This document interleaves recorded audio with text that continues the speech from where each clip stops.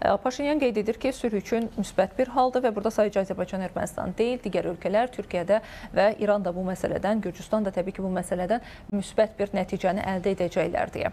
İstərdim ilkin olaraq Paşinyanın bu açıqlamasının bəyanatını bir qədər təhlil edək. Paşinyan əlbəttə bu yanaşma kifayət qədər praqmatik yanaşmadır, amma Paşinyan bunu hansı məqsədlə dilə gətirib, bu əsas mövqeyidir.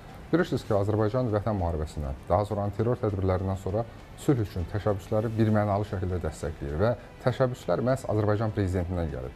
Biz hələ vətən müharibəsindən əvvəldən sülh yolu ilə, dialoq yolu ilə bu proseslərin həlli, bu problemin həlli istiqamətində mövqe ifadə edərkən, möhtərəm cənab prezident münaqişəsiz bölgənin bütövlükdə bölgə dövlətlərinin hər birinə fayda gətirəcəyini dəfələrlə bəyan edib. Amma ötən dövr ərzində o sülh danışıqlarının daşa dirənməsi, daha sonra vətən müharibəsinin başlaması, ardınca antiterror tədbirləri, bunların hamısının səbəbkarı birbaşa Ermənistan özüdür. Bölgədə hərbi münaqişə adına atılan bir gülləyə görə belə Ermənistan məsuliyyət daşıyır. Bu gün Ermənistanın hələ də mina terroru sözün əsl mənasında bölgəni cəhənnəmə çevirib.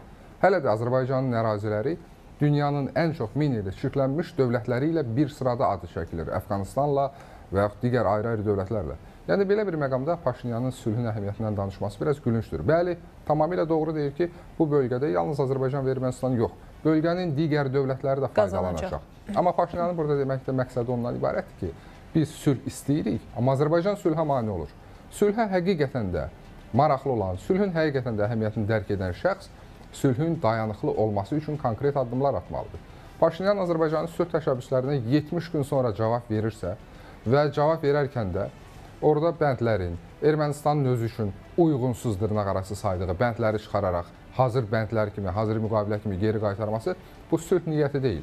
Azərbaycan deyir ki, sülh davamlı, dayanıqlı olmalıdır. Əgər Ermənistan konstitusiyasında hələ də sülhə mane olan müddəalar varsa, hələ də Azərbaycana qarşı ərazi iddiaları varsa, hələ də 30 illik münaqişəyə səbəb olan təcavüzkar meyl varsa, Paşinyanın bugün sülhdən danışmağı o qədər də məntiqli görünmür. Bəli, bir daha deyirik, biz sülh istəyirik, amma sülh 3-5 nəfərin o belə deyək iradəsindən asılı olmamalıdır. Ermənistan Konstitusiya Məhkəməsinin iradəsindən asılı olmamalıdır. Ermənistan parlamenti ratifikasiya edə bilməyib geri qaytarmamalıdır bu. Bu mənada əlbəttə ki, Paşinyanın o qənaətini bölüşürük ki, sülhdən bütün bölgə faydalanacaq. Amma Paşinyan bunu nə qədər səmimi deyir, bu da aydındır.